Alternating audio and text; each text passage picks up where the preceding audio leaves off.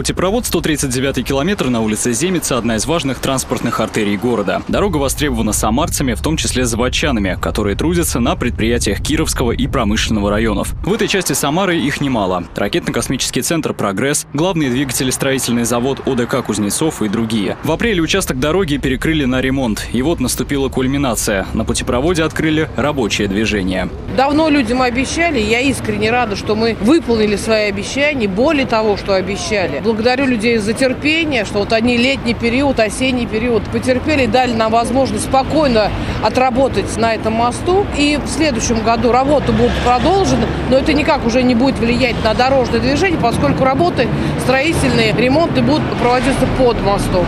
Несмотря на то, что рабочее движение по путепроводу открыто, контракт на ремонт важного участка рассчитан до 2025 года. По словам представителя подрядной организации, в 2024 специалистам предстоит сделать примерно 15% работ от того объема, который удалось выполнить в текущем году. Нам необходимо на следующий год еще э, под мостом тоже подремонтировать весной, начнем доделывать все то, что не успели в этом году и, соответственно, приводить э, опоры и окраску ну, в.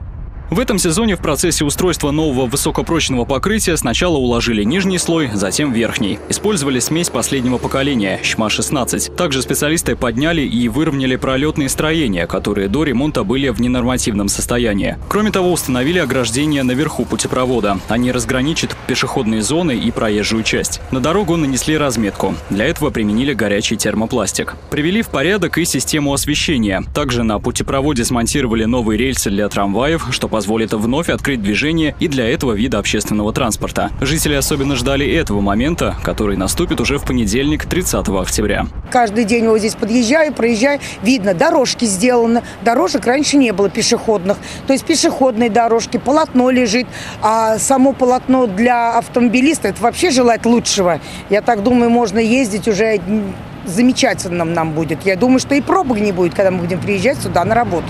Во время открытия путепровода лучших специалистов наградили почетными грамотами администрации Самары. Эти люди внесли огромный вклад в ремонт участка дороги, что позволило запустить рабочее движение раньше срока. Михаил Ермоленко, Николай Епифанов. События.